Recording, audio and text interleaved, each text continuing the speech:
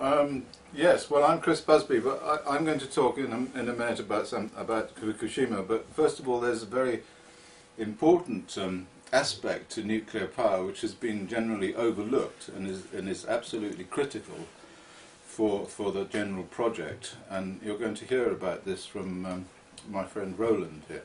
Yes, Roland von Malmborg. Um, well, I, I've been fighting nuclear power and, and bombs since I was a teenager. So for 50 years I've been working with this problem, and yet two of the worst aspects I've only got to understand in the last two years. And only in the last half year I've understood what I think is the worst risk of nuclear power. And that is the connection to the sun cycle. We can get an electromagnetic pulse from the sun. We can call it an, a- an electromagnetic tsunami. And this will wipe out all connected major transformers in the world. within- Solar flare, yeah?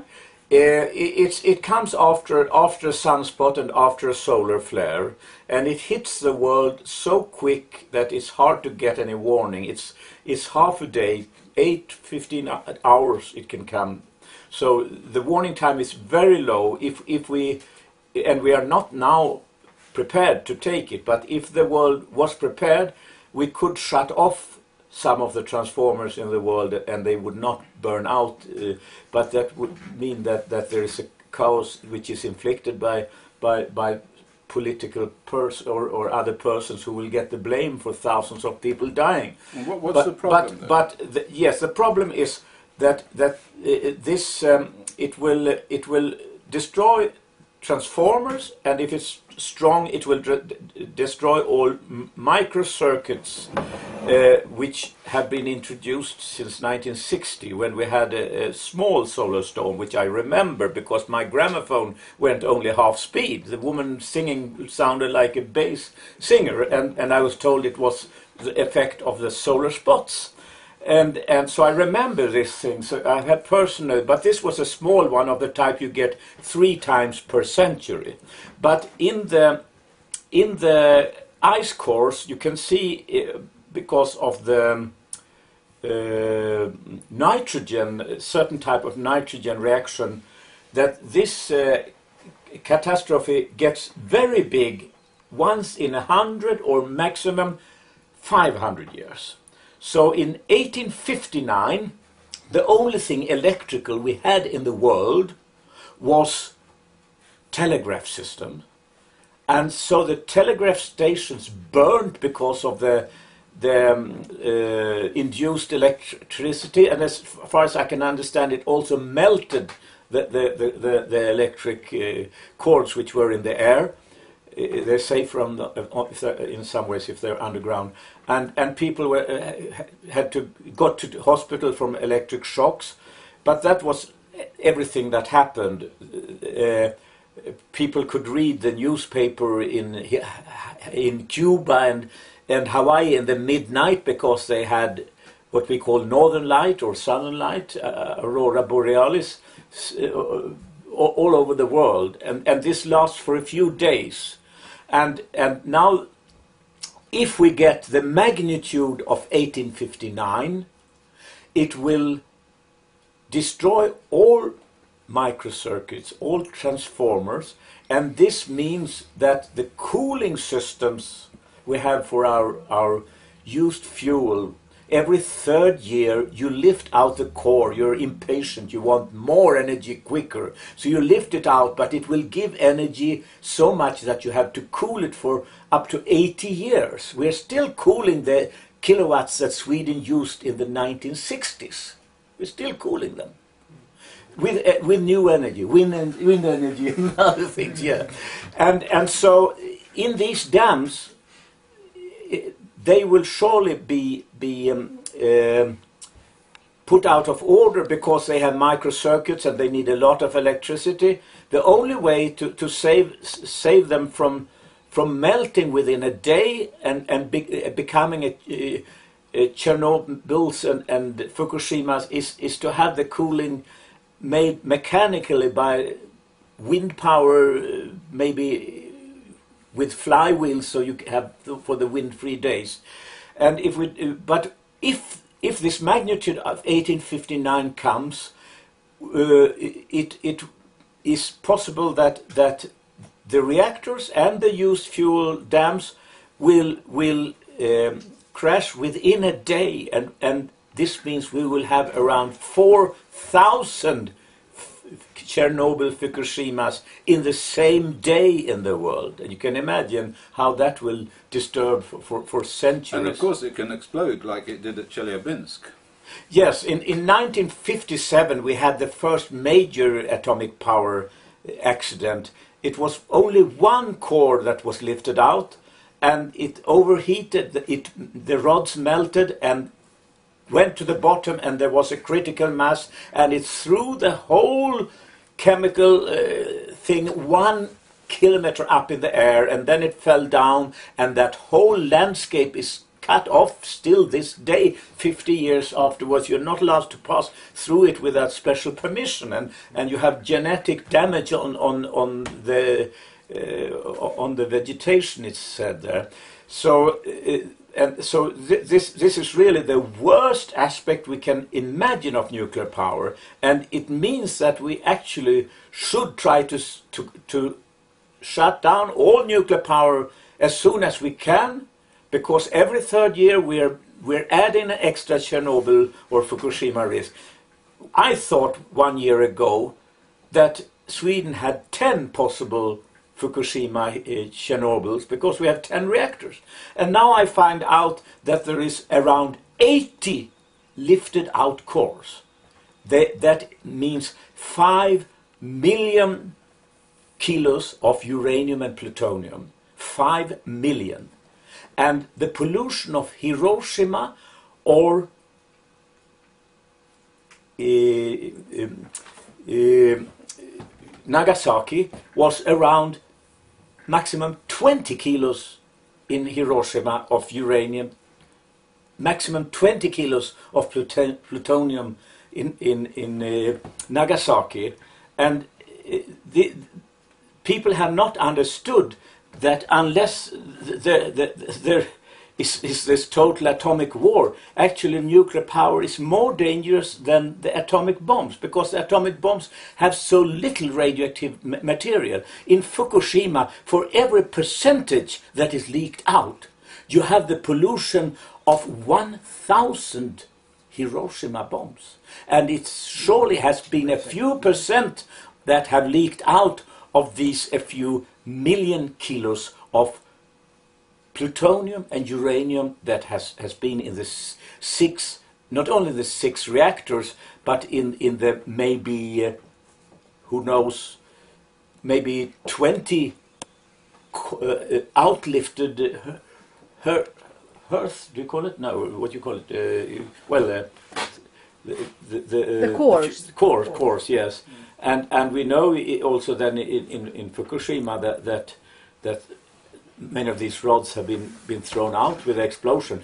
The, the, the company and the, and the Liberal Democratic Party, whose election campaigns largely was paid by the atomic industry, have not told us uh, uh, the truth. They, they, they, in Sweden, they, well, I mean, they, they, they, they say, oh, the, the, the, one core has melted a bit, sort of, but but what about all these cores that were yes, lifted no, out? They went up in the air and they came pitter patter, pitter patter down. And then I've heard from people who've seen this uh, on the ground in Fukushima that they came. They haven't tried to, to do anything. They've come with bulldozers and they pushed them all into the ground. So these and they, they hope they get them one metal, yeah. meter down, pieces but but but they, some yeah. of it will still be turned up again when they go with yes, it. Yes, and and I guess that if a child finds this and holds it for one minute, uh, they are dead. They're dead. Yes. Dear wise men, what can we do? So little So time, that- that- so what- much to do. Yes, as I said, we have to stop nuclear power very quickly because every third year we ha- get a new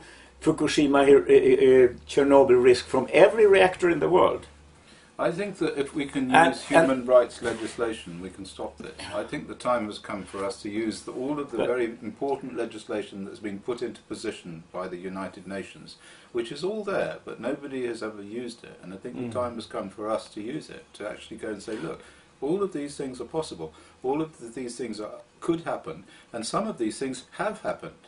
And so the time has come to stop it. And you people who've made all of these these these laws and these very wise sayings about human beings and how they should live together in harmony and how everybody has the right to live in an environment where they're safe and where nobody is threatening to kill them and where the pollution is such that their children are not going to die of cancer and all of these things. And they're all there written down and enshrined in statute.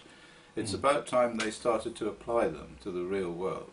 And I think we can do that. As far as, as we know, not one nuclear plant or um, cooling uh, waste uh, plant has counted with the electromagnetic pulse of the solar storms. Risk. so so uh, and and I mean the problem is if you go to the to the people of Naples, uh, Naples and under the Vesuvius and you tell them you are the next uh, Pompeii, they won't listen.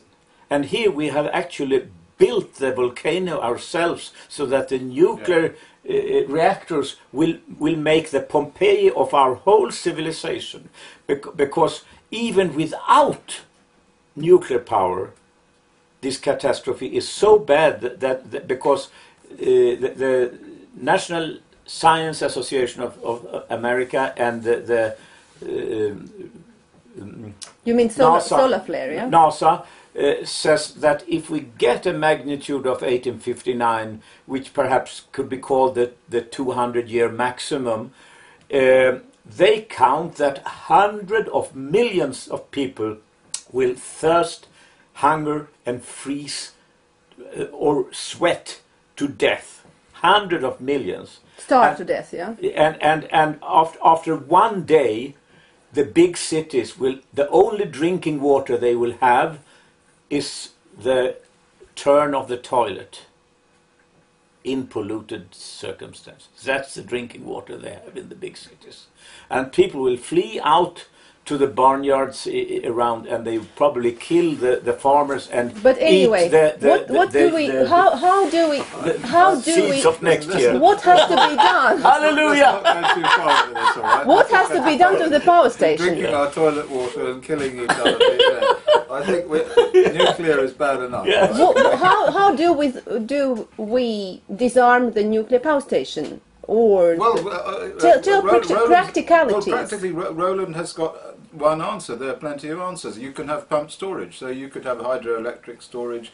You could have, um, uh, but you could burn hydrogen. There are lots of ways you can you can you can create energy without electricity. I mean, you just have to think about it. That's all. You can do this. So if you decide on the, uh, I mean, we're very clever, the human race. So you can actually decide that this is the problem, and then you can find a solution. There are lots and lots but it takes ways. time, and we don't have it. So No, what is the fastest? What is the fastest way? It could, the, fa- the fastest way would be to ha- would be to have pumped storage. I mean, you've only got to keep these things cool for long enough to bring all of these systems back online. Uh, uh, or you could you could separate the new. You could actually build new cooling systems. Whereby, whereby you separated these cores in such a way that, that you could have a, a, a metal finned container with water in, rather like these copper canisters that they're, that they're going to bury under the ground, which conducts the heat away, and then rather like air cooling, mm. then the air can cool the cores with little fins and so on. And if the amount of nuclear material in there is small enough, then you then then you're okay. You, you know you have. But that would which- take long time of production well, to fix be, no, that. No, no, no, really. If somebody had the decision to do it, if somebody thought, well, this is a problem, we've got to do something about it, it could be done in a few months. Now, You mean like, like uh, a system like we have in a cooler in a, in a car with where it spread spreads yes, out? yes, yes, yes. But you are talking copper canisters? What? You're talking copper canisters. No, I'm talking No, it's about just before air, that. air cooling. That's all. I mean, a Volkswagen car, for instance, you know, the old Volkswagen Beetle is air cooled. You just blow air over fins. A motorcycle is air cooled. You don't have any cooling in a motorcycle. how do you get this force to blow it if we don't you have don't, you don't need to. You have fins. If you have fins, just What is they don't- fin? a fin is like a piece of Thin metal sticking out Like so that the surface sticking out, connection yeah. with, with air is Yeah, big You increase the big Ah. surface area, you see, and then that, as it gets hot, it sucks the air up like this, and the air just normally goes through it. To, So it has cool to it. be It some can kind done. of secure net. Yeah, yeah, like in a, the like air. A, like a yeah, sure, like a little like a little pond, a much smaller pond, you know, with it made of metal, copper perhaps, you know, and then uh, lots and lots of metal uh, fins, me- metal kind of plates coming off it, Okay. welded to it. And then- just in air, yeah, sure. without Like, water. like you have in a computer, the, Yeah. the core of a computer has got a lot of metal Yeah, yeah, sticking like out a like heat, It's called a heat sink. But then that particular place would be very radioactive, yeah? Well, it wouldn't, it wouldn't No, be i- no more i- i- radioactive not than it before, is not now. until not until uh, the rods melt. No more radioactive. Why than If, if it it is if But it gets they will if it melt, gets too won't hot, they? if no, it no, no, they won't. This, the idea is we're going to cool them, and we cool them with these fit with air cooling. They, they, you, Air they can they cooling. can be almost 300 degrees centigrade without melting. Yeah, so sure. so so i- i- you you, You if can- you, you can, can cool cool them them, me- yeah. mechanically. So if you air would contact be it. just enough? Yeah, sure. Would. But we can we Uh, can. uh, what do you think about it? Well, I, I, I would perhaps complete it with uh, supplement it with with, with wind wind power stored in, in big flywheels or something so that you have some fanning or, or circulation to, to, to make it more efficient. But but uh, I, I think also that it, it could be You have to separate them up, though. Spread- At the spread. moment, they're all they're all together, you know, and so they, they've operated it in such a way that they. I mean, those ones at Fukushima, they put they put they put them on top of each other because they ran out of space. five in one. yeah, that's right. So they kept cramming them into the same thing. You see, uh, I mean, and that's just asking for trouble. And of course, they got trouble. That's what happened. So that boiled. It boiled dry, Dry very quickly, very, very and then they all melted, and, and there was a nuclear explosion, in my opinion.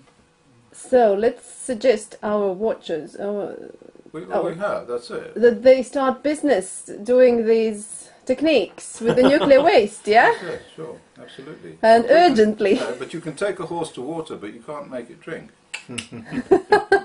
That's the problem. You Okay. can take a nuclear industry to, to a problem, but you can't make them solve it. Especially when it's expensive. But I think I think also uh, really, how do we get this knowledge out? This and, is how. This and is yeah, and, and and one thing is that, that we could uh, demand to get a, a description of this problem from our security, atomic security I think that would be boards good. in the, Sure. in the different countries because can do that. they should be the servants of the people, not only the servants of the industry, which they've well, become- there, thought there, they, they are. there are all sorts of human rights laws that enable us to actually pull that particular piece of string and make it Mhm. happen. And what we is can that book called that is so good? Yes, it's it's called uh, it's it's it's called a woman. It's a woman called. It's called uh, uh, phew, strategies for uh, environmental law or something like environmental law strategies. But uh, but I haven't got the actual title. I mean, we'll put we'll put the title into the video. Okay? Actu- so you buy this buy this book. Everybody should buy this book. It's a woman that I met in Salzburg at a at a big conference on nuclear law. And, and this book tells you actually how to do it. So you, you know you don't even have to be a lawyer. It's got like ways in which and people that you write to and who you write to and what you say. And all even the text things, sug- you know. suggestions. It's got everything. It's got Yeah. everything. So, and I don't want to have to be the only person doing this stuff, all right? I want some of you people to buy this book and to apply yourself to the law inside this book and to pull these people off their pedestals because it's not difficult. And also, some young people should consciously go into law studies with the aim of, of making good environmental laws. Also Linda nuclear- Malone, that's the woman's name. She's Linda Malone. is How do you spell Malone? M A L O N E. Anyway, we'll stick it on the on the at the bottom. Under the video, in the info. Yeah, and Scott Pasternak. So it's Linda Malone, Linda A. Malone, of the School of Law of Dorothy, uh, School of Law of uh, uh, in Virginia. It's Virginia. It's Virginia Law School United States, yeah? in, in the United States. And she's great. This woman, she's great. And so this this is environmental strategies for for um, saving the planet legally, and it can be done. It's a fantastic book. Absolutely fantastic. Okay, thanks And so cheap. much. thanks so much. So, that was chapter one. chapter